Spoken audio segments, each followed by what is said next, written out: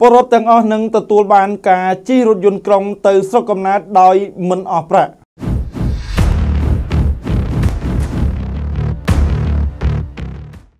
រដ្ឋបាលរាជធានីភ្នំពេញនឹងរៀបចំរថយន្តក្រុងចំនួន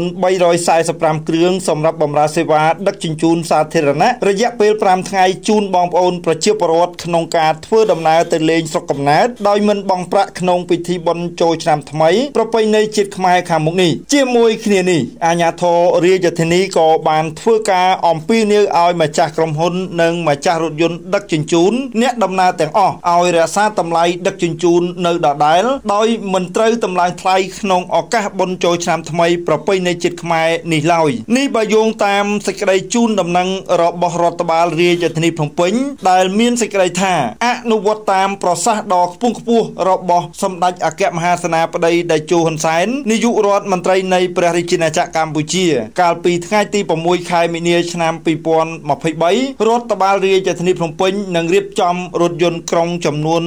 345គ្រឿងសម្រាប់បម្រើសេវាដឹកជញ្ជូនសាធារណៈរយៈពេល5ថ្ងៃចាប់ពីថ្ងៃទី13ដល់ថ្ងៃទី17ខែមេសាឆ្នាំ2023ដោយមិនបង់ប្រាក់ដើម្បីជួយសម្រួលដល់ការចំណាយជូនបងប្អូនប្រជាពលរដ្ឋក្នុងការធ្វើដំណើរទៅលេងស្រុកកំណើតជួបជុំបងប្អូនក្រុមគ្រួសារក្នុងពិធីបុណ្យចូលឆ្នាំថ្មីប្រពៃណីជាតិខ្មែរឆ្នាំថោះបញ្ញស័កពុទ្ធសករាជ2567ដោយក្នុងនោះមួយសម្រាប់សេវាដឹកជញ្ជូនប្រជាពលរដ្ឋនៅក្នុងរាជធានីភ្នំពេញប្រើប្រាស់រថយន្តក្រុងចំនួន70គ្រឿងពីរសម្រាប់សេវាដឹកជញ្ជូនប្រជាពលរដ្ឋដែលនឹងធ្វើដំណើរពីរាជធានីភ្នំពេញទៅតាមបណ្ដាខេត្តនិងពីបណ្ដាខេត្តត្រឡប់មករាជធានីភ្នំពេញវិញប្រើប្រាស់រថយន្តក្រុងចំនួន